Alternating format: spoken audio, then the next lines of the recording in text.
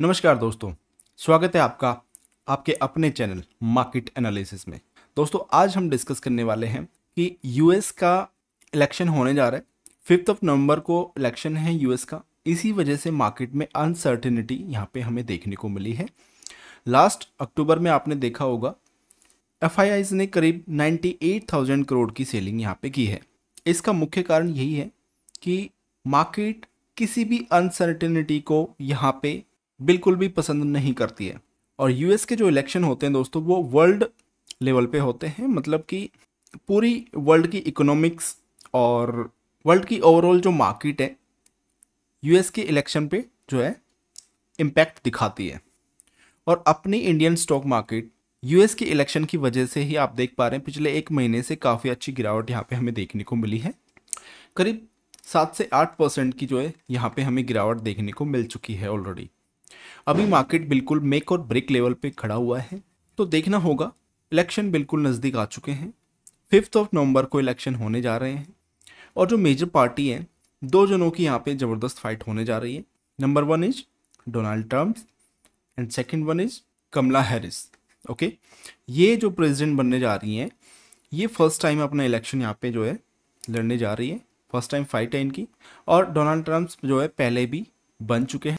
अब बात ये रहेगी कि किसके बनने से अपनी इंडियन स्टॉक मार्केट को यहाँ पे बेनिफिट्स होने वाला है? हम इंडियंस को कब फ़ायदा होने वाला है? इंडिया की ग्रोथ स्टोरी किसके साथ में अटैच होने वाली है? वेल बताना चाहूँगा कि जो डोनाल्ड ट्रम्प्स हैं, उनके बहुत ही अच्छे संबंध रहे हैं पहले से इंडिया से ओके और इनके जो चाइना से जो संबंध है, वो एकदम ख़राब है तो उसका कहीं ना कहीं बेनिफिट्स इंडिया को यहाँ पे मिलने वाला है।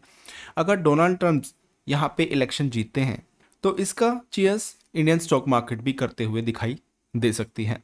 क्योंकि ये शख्स जो है, अभी as per news tax rate को यहाँ पे कम करने जा रहा है और मैन्युफैक्चरिंग हब को बढ़ावा दे रहा है और हमारे जो इनके साथ बिज़नेस डील है, वो इंडिया की काफ़ी ज़बरदस्त है। क्रूड ऑयल में यहाँ पे हमें तेज़ी की जगह मंदी दिखाई पड़ सकती है। अगर डोनाल्ड ट्रंप जी आते हैं कहीं ना कहीं जो एक वॉर वाली सिचुएशन यहाँ पे छिड़ी हुई है, उसमें काफ़ी कंट्रोल हमें देखने को मिल सकता है। तो यानी ओवरऑल अगर मैं बात करूँ तो अपने फेवर में डोनाल्ड ट्रंप ही आते हुए दिखाई दे रहे हैं।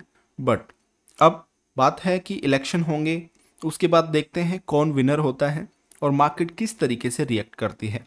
ऑल तो बताना चाहूँगा मार्केट हमेशा किसी भी न्यूज़ या किसी भी इवेंट को होने से पहले अपने आप को ऑलरेडी फैक्टर इन कर लेती है। सो एज पर माई एनालिसिस जितनी गिरावट होनी थी, वो हो चुकी है। अगर मार्केट में अब इलेक्शन के दौरान दोस्तों मार्केट में वॉलेटिलिटी हमें देखने को मिलेगी। बट ऑलरेडी जो इवेंट्स की आउटकम है, उसको मार्केट ने ऑलरेडी फैक्टर इन कर लिया है। एफ़ ने जो पैसा निकाला है, वो इसी वजह से निकाला है, क्योंकि इलेक्शन आ रहे हैं। कुछ भी वहाँ पे देखने को मिल सकता है। उन्होंने अपनी प्रॉफिट बुकिंग की है और वो दोबारा से इंडिया में आएँगे, फिर से री इन्वेस्ट करेंगे। सारी चीज़ें नॉर्मल होंगी। तो ज़्यादा हमें टेंशन लेने की ज़रूरत बिल्कुल भी नहीं है।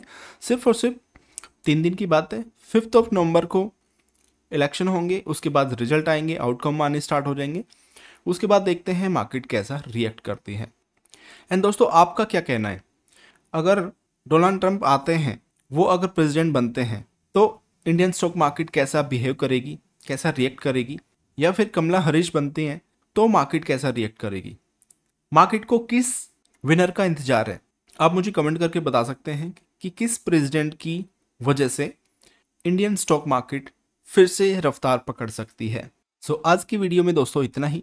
आई होप ये वीडियो आपको पसंद आई होगी। अगर अच्छी लगी हो तो लाइक करें।